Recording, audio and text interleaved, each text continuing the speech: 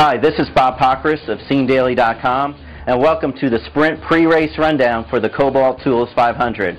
After a couple of weeks of racing on the West Coast, NASCAR returns to the East Coast for a month of racing and starts this weekend at Atlanta Motor Speedway.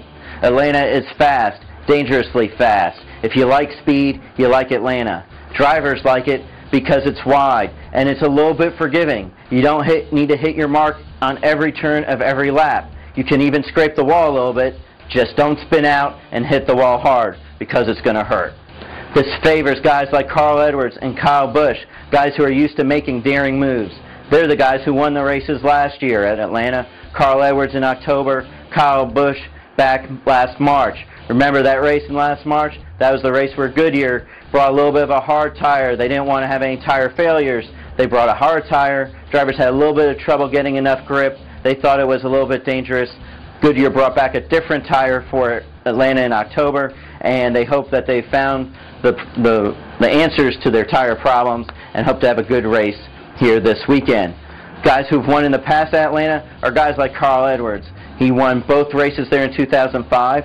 Tony Stewart and Kasey Kahne won there in 2006, and Jimmie Johnson won both races in 2007. So what does that mean? Jimmie Johnson says it means absolutely nothing. That was with the old car. The new car races differently. You can't translate success in the past at Atlanta to success this year.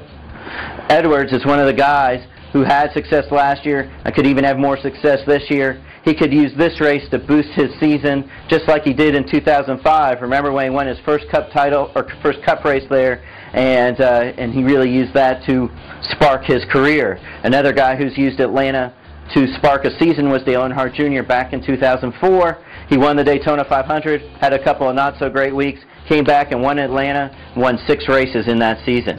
Who will be that person this year? Could be Stewart. He was second in that race a year ago, and he's looking for that first win as an owner and driver. And maybe it'll be Jeff Gordon.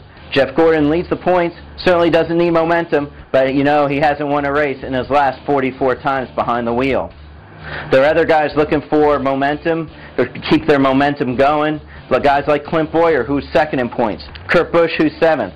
How about the Michael Waltrip Racing guys? David Reutimann is fifth in points. Mikey is 12th. Another guy who started out really well, Bobby Labonte. He's 10th in points. Labonte has six career wins at Atlanta, the most of any other driver in the field. Bill Elliott has five, and Awesome Bill from Dawsonville will be back in the car this weekend as the Wood brothers, after a two-week break, are back on the racetrack. They decide this year they want to be competitive and not stretch their dollars so thin to try to make a race every week. Will, how will Bill do in front of his hometown crowd? We'll just have to tell by the roar of the Atlanta crowd when he goes out on the track. Well, that's what we've got for you this week as far as the sprint pre-race rundown. We hope that you join us next week.